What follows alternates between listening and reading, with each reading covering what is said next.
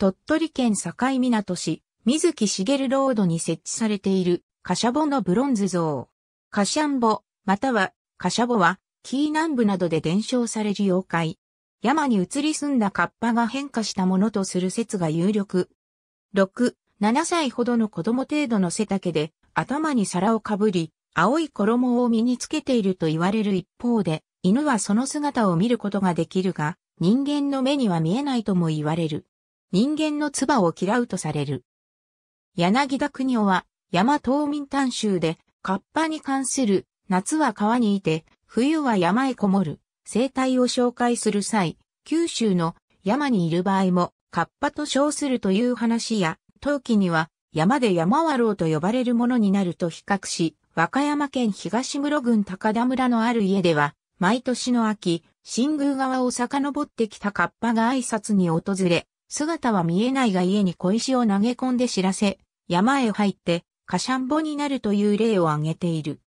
性質は、カッパと変わらずいたずら者で、山中で作業をしている馬を隠したり、牛小屋にいる牛に、よだれのようなものを吐きかけて苦しめるという。牛小屋の戸口に灰を撒いておいたところ、そこに残されていたカシャンボの足跡は、水鳥のようだったという。南方熊楠は、反世界的な妖怪払いの儀礼で、魔物の足型を取るというものがあった点を指摘する際、ある村落でカシャボによる牛の被害があったために、各農家の牛舎で灰を撒いたという話を引いている。なお、南方はこの村落でのカシャボとされるいたずらは、カワウソの言った可能性があると言っている。また、山で木を切り倒す音を出すと、音による怪異をなすとされる。この妖怪について、青い衣を着た子供であるとする南方は、柳田国を宛て書簡の中で、馬には見えるが、人には見えないと言っている。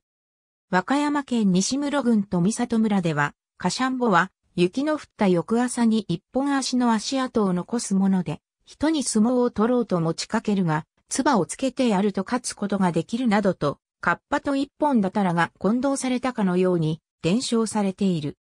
2004年春、和歌山県白浜町、富田の田畑で謎の足跡が発見され、4本足の動物ではありえない足跡であったことから、カシャンボの仕業と地元の新聞などで報道された。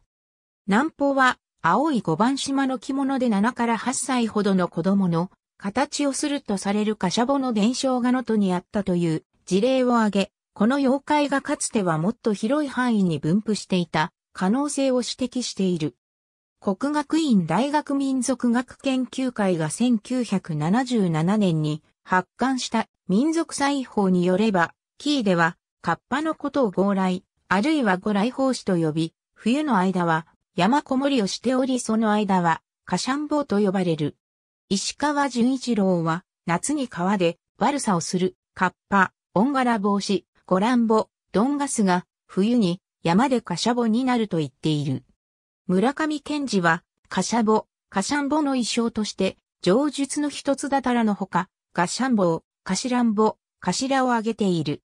カシャンボの名称は、いたずら者であることから、くすぐるを意味する方言の、カシャグ、カシャ、頭などを由来とする説がある。いくつかの文献では、カッパ以外にも、カシャンボとして言及している資料があり、複数の説が存在する。ありがとうございます。